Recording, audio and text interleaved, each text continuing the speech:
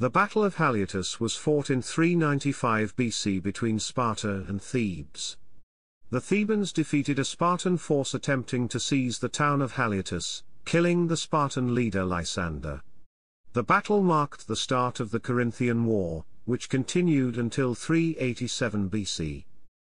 Chapter 1 Prelude In 396 or 395 BC, an ambassador from the Persian satrap Pharnabazus, Timocrates of Rhodes, arrived in Greece.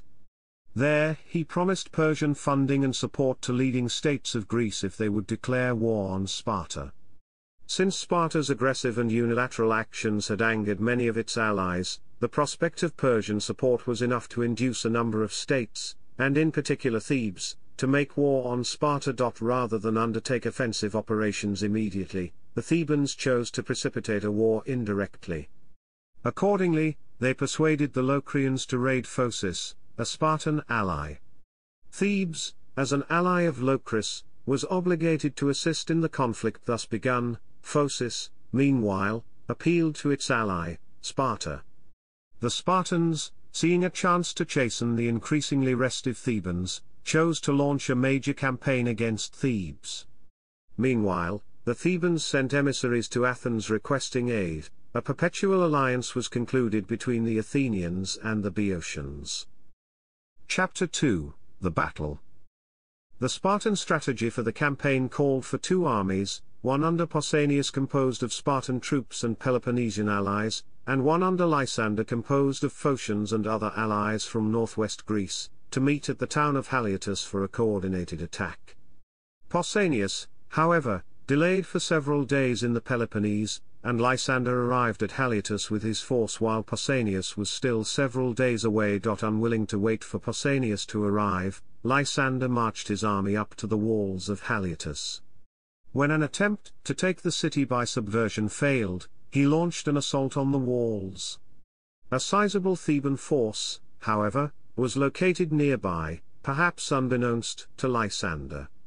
This force hurried to the assistance of the city's defenders.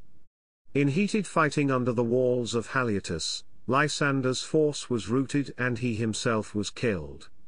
The Thebans, however, pursued the defeated troops too far, and as they entered rough and steep terrain, the fleeing soldiers turned and drove the Thebans back with heavy losses. This reversal briefly disheartened the Thebans, but the following day Lysander's army disbanded, with each contingent returning to its home country. Chapter 3 Aftermath Several days after the battle, Pausanias reached Haliartus with his army. Wishing to recover the bodies of Lysander and the others killed in the battle, he asked for a truce, which the Thebans agreed to grant only on the condition that he depart from Boeotia. Pausanias agreed to this condition, collected the bodies of the dead, and returned to Sparta. Upon his return, Lysander's faction brought him to trial for arriving late and failing to attack when he did arrive, and Pausanias, recognizing that he would be convicted and executed, went into exile. Pausanias's exile, along with the death of Lysander, removed from the scene two of the three major actors on the Spartan political scene, leaving only Agesilaus, who would dictate Spartan policy for years to come. The Battle of Haliartus launched the Corinthian War, which stretched from 395 to 387. Fighting resumed in the next year when Thebes and Athens, now supported by Corinth and Argos, fought against Spartan armies at Nemea and Coronea, and continued in the Aegean Sea, and around the Isthmus of Corinth until the end of the war.